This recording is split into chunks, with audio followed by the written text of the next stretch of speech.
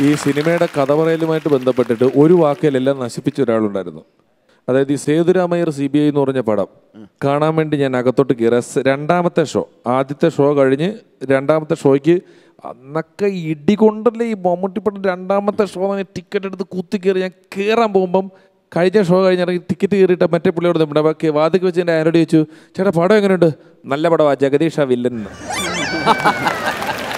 പുള്ളി ഒറ്റ സ്റ്റേറ്റ്മെന്റ് അതോടുകൂടി സിനിമ കാണാനുള്ള സർവ രസവും പുള്ളി തീർത്ത് കയ്യിലേക്ക് തന്നു. ഞങ്ങൾ ഏഹ്, പഞ്ചവർണ തത്ത എന്ന് പറഞ്ഞ പടം ഡയറക്റ്റ് ചെയ്യുന്ന സമയത്ത് അതിലൊരു കോമഡിക്ക് വേണ്ടിയിട്ട് അഡ്വക്കേറ്റ് എന്തോ ആണ് സലീമേട്ടന്റെ പേര്. അപ്പോൾ അഡ്വക്കേറ്റ് എന്നുള്ളതിന് പകരം ഇയാൾ അസ്വ എന്നെഴുതിക്കൊണ്ട് ഇതിൽ ഡാ തിരിച്ചിട്ടതാണല്ലോ. ഡായും സായും തമ്മിൽ തിരിച്ചിടാൻ പറ്റില്ല. അങ്ങനെ അസ്വ എന്നെഴുതിയിട്ട് രണ്ട് കുത്തിട്ടുണ്ട് വന്നിട്ട് ആയിരം ഫ്ലക്സ് അടിച്ചു എന്നൊരു തമാശ പ്ലാൻ ചെയ്തു. എന്നിട്ട് എന്താണെന്ന് വെച്ച് കഴിഞ്ഞാൽ ഇയാൾ സലീമേട്ടൻ ഇതെടുത്തിട്ട് പറയടോ ഇത് ഇങ്ങനെയല്ല വെക്കണ്ടേ. ഇത് തിരിച്ചു വെക്കാൻ പറയുമ്പോൾ ഇയാൾ ഇങ്ങനെ തിരിച്ചു വെക്കുമ്പോൾ അത് ഇട്ടാന്നുള്ള അക്ഷരമാവും. അട്ടുവ എന്നാവും അപ്പോഴും. രണ്ടായിരം എണ്ണം അങ്ങനെ ട്രിമ്പി അങ്ങനെ ഒരു സാധനം ചെയ്യാൻ വേണ്ടി ഇതിന്റെ ഫസ്റ്റ് ഫ്ലക്സ് പ്രിന്റ് അടിച്ചുകൊണ്ട് വന്ന് ഈ സാധനം അവിടെ നമ്മൾ തമാശയ്ക്ക് വേണ്ടി ചെയ്തു വെച്ചുകൊണ്ടിരിക്കുമ്പോൾ തന്നെ ലൊക്കേഷൻ കാണാൻ വന്ന ഒരാൾ ഹലോ രമേഷ് ഒന്ന് ഒന്ന് ഒരു വരണം എന്നൊക്കെ കുറെ കുറെ എന്റെ അടുത്ത് വന്നിട്ടേ നിങ്ങൾ ആദ്യമായിട്ടൊരു പടമൊക്കെ ചെയ്യല്ലേ? അതെ നിങ്ങൾ ചെറിയ ചെറിയ കാര്യങ്ങളിലൊക്കെ നിങ്ങൾ ശ്രദ്ധിക്കേണ്ടതായിട്ടുണ്ട്. ഞാൻ ചോദിച്ചു എന്താ ഇവിടെ ആരും ശ്രദ്ധിച്ചിട്ടില്ല. അഡ്വ എന്നുള്ളതിന് കണ്ടോ നിങ്ങൾ അസ്വ എന്നാണ് എഴുതി വെച്ചിരിക്കുന്നതെന്ന് പറഞ്ഞ് സീരിയസ് ആയിട്ട് പറഞ്ഞിട്ട് പോയി. പുള്ളിക്കത് തമാശ എന്ന് പോലും മനസ്സിലാവുന്നില്ല. അങ്ങനെ അമ്മയുടെ ഷോ നടക്കുമ്പോൾ പെട്ടെന്ന് മണിയമ്പിള്ള രാജചേട്ടന് അമ്മയുടെ ഷോ എറണാകുളത്ത് റിഹേഴ്സൽ നടക്കുക അപ്പോൾ മണിയമ്പിള്ള രാജചേട്ടന് ഷുഗറിന്റെ ഒരു മരുന്ന് മേടിക്കണം ഇൻസുലിൻ മേടിക്കാൻ വേണ്ടി പോകണം അപ്പം മണിയമ്പിള്ള രാജ നല്ല ടീഷർട്ട് കണ്ണട സാധനങ്ങളൊക്കെ ഇട്ടിട്ട് ഞങ്ങൾ ഒരു മെഡിക്കൽ ഷോപ്പിൽ ചെന്ന് നിർത്തി. മണിയമ്പിള്ള രാജചേട്ടൻ എന്നെ കണ്ടപ്പോൾ ആ എന്നൊക്കെ പറഞ്ഞിട്ട് മണിയമ്പിള്ള ചേട്ടൻ ചെന്നിട്ട് ആ ഇൻസുലിൻ രണ്ടെണ്ണം മേടിച്ചപ്പോഴത്തേക്ക് ഈ അവിടെ എടുത്തു കൊടുക്കുന്ന പെങ്കൊച്ചു ചോദിച്ചു സാറിന് ഷുഗർ ഉണ്ടോ? എന്ന് ചോദിച്ചു. ഇവിടുന്ന് മണിയമ്പിള്ള ചേട്ടൻ എനിക്കല്ല നെവിൻ പോളി അവിടെ ഷുഗർ കയറി വയ്യാതിരിക്കുക ഞാൻ കൊടുക്കാൻ വേണ്ടി മേടിക്കാൻ വന്നതാണ്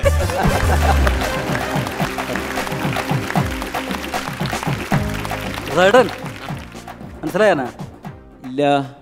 എനിക്കറിയാം കേസോ മാമൻ അതല്ല വർഷങ്ങൾക്ക് മുമ്പ് ഞാൻ നിങ്ങളുടെ ട്രൂപ്പിൽ വന്നിട്ടുണ്ട്. എന്റെ ട്രൂപ്പിൽ ഇന്റർവ്യൂവിന് ഞാൻ പങ്കെടുത്തിട്ടുണ്ട് ചേട്ടൻ. കൊച്ചിൻ ഗിന്നസ്. ആ. അത്രയും കലാകാരന്മാരവിടെ വന്നിട്ട് ചേട്ടൻ എന്നെ മാറ്റി നിർത്തിയിട്ട് എന്റെ ചെവിയിൽ ഒരു കാര്യം പറഞ്ഞു. എന്ത്? അവർക്കൊന്നും ഇല്ലാത്തൊരു കഴിവ് എനിക്കുണ്ടെന്ന്. എന്നിട്ടും ചേട്ടൻ എന്നെ ട്രൂപ്പിലെടുത്തില്ല. അങ്ങനെ ഉണ്ടെങ്കിൽ ഞാൻ എന്തായാലും വിളിക്കും. വിളിക്കാതിരിക്കില്ല. ഇല്ല എന്നെ എടുത്തില്ല. ഇല്ല ഞാൻ വിളിക്കാതിരിക്കില്ല. എന്താ ഞാൻ പറഞ്ഞെന്താണ് എനിക്ക് നല്ല കഴിവുണ്ടെന്ന് പറഞ്ഞില്ലേ?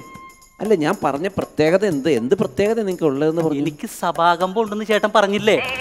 സഭാകമ്പം? ആ. എന്നിട്ട് പോലും എടുത്തില്ല പിഷാരടി എന്നെ. സഭാകമ്പം ഉണ്ടെന്ന് പറയുന്നത് സ്റ്റേജ് ചെയ്യേണ്ട എന്തൊരു ഒരു കഴിവല്ല. പിന്നെ? സഭാകമ്പം എന്ന് പറയുന്നത് സ്റ്റേജിൽ കയറുമ്പോൾ കാലിന്റെ മുട്ട് കൂട്ടിയിടിക്കുന്നതിന് പറയുന്ന പേരാണ് സഭാകമ്പം എന്ന് പറയുന്നത്. അതാണല്ലേ? ആ.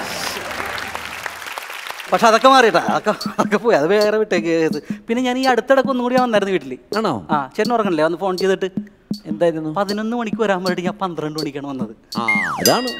ഒരു കലാകാരന് വേണ്ട ഏറ്റവും പ്രധാനപ്പെട്ട ഘടകം എന്താ അഡ്വാൻസ് അല്ലേ?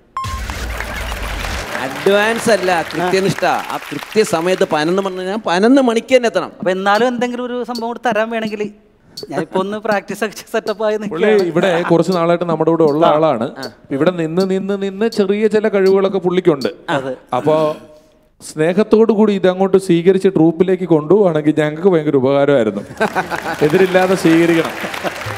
അല്ല എന്താണ് പുള്ളിക്കുള്ള കഴിവെന്നൊന്ന് കണ്ടാലല്ലേ അറിയാം മാമൻ എന്തെങ്കിലും ഒരു കഴിവ് കാണിച്ചു കൊടുക്കാം എന്നാലേ അല്ല എന്താ ചെയ്യുന്നത് ഞാൻ പറഞ്ഞു എന്ത് വേണമെങ്കിലും പറഞ്ഞു ഞാൻ ചെയ്യാം. അല്ല എന്താന്ന് എനിക്കറിയില്ലല്ലോ. നിങ്ങളുടെ കഴിവ് എന്താന്ന് എനിക്ക് ഞാൻ മിമിക്രിയിൽ ഞാൻ വെറൈറ്റി ആയിട്ട് നമ്മുടെ പ്രേം നസീർ സാറിന്റെ സൗണ്ട് അനുകരിക്കും. ഓഹോ അതെന്ത് വെറൈറ്റി ആണ് ചേട്ടാ എന്ത് വെറൈറ്റി ആണ് അതിന്? എത്ര കാലം ആദ്യത്തെ മിമിക്രിക്കാരൻ തൊട്ട് അനുകരിക്കുന്ന ഒരു ശബ്ദം ആലപ്പിയ ഷെഫ് ആദ്യം കാണിക്കാൻ തുടങ്ങിയ ശബ്ദമാണ് ഈ പ്രേമനസീർ എന്ന് പറയുന്നത്. അത് നാച്ചുറൽ അല്ലേ? ആ. ആ.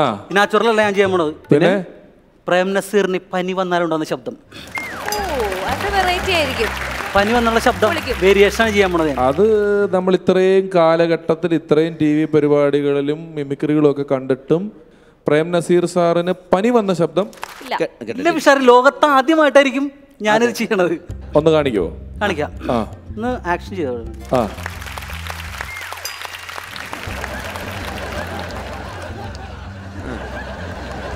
അമ്മേ എനിക്ക് വയ്യാമേ ഹാച്ചി.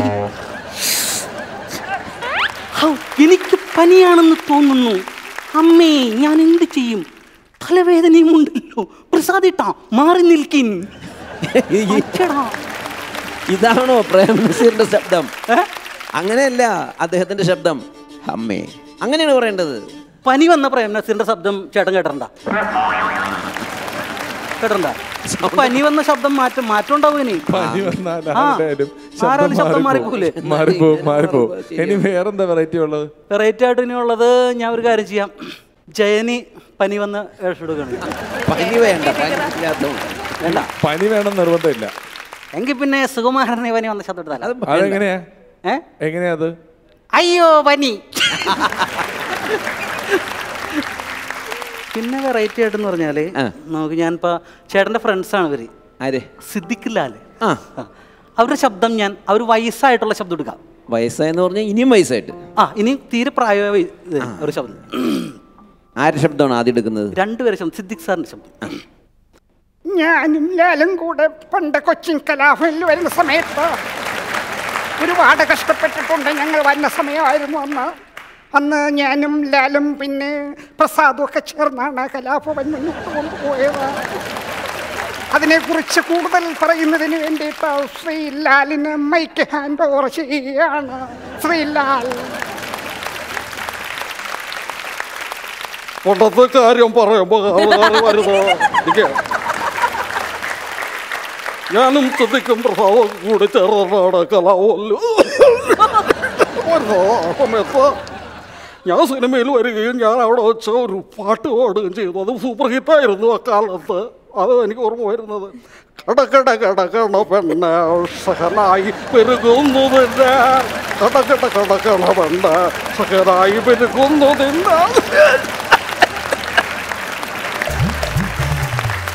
അപ്പൊ ഏതായാലും നിങ്ങളുടെ മിമിക്രി ഒക്കെ വളരെ നന്നായിട്ടുണ്ട്.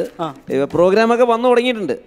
മാത്രമല്ല ഗൾഫിൽ നിന്ന് ഒന്നുണ്ട് പ്രോഗ്രാം വന്നിട്ടുണ്ട്. അത് ശരിയാ. ആ, അപ്പൊ അതിന് വേണമെങ്കിൽ നമുക്ക് കൊണ്ടുപോകാനൊന്ന് ആലോചിച്ചാൽ ഇല്ല പക്ഷെ പുള്ളിനെ കൊണ്ടുപോകാൻ പറ്റൂല. എന്താ എയർപോർട്ടിൽ ഇപ്പൊ ടെമ്പറേച്ചർ ചെക്ക് ചെയ്യേ. അപ്പൊ നിങ്ങളുടെ എല്ലാ നടന്മാർക്കും പനി പിടിച്ചിരിക്കുന്ന കാരണം ഗൾഫിൽ പോകാൻ പറ്റും തോന്നുന്നില്ല. എന്നാ ഞാൻ പനിയിലായിട്ട് നടനായിട്ട് വരാം. കേട്ടാ? ഓക്കെ. വിഷുവിന്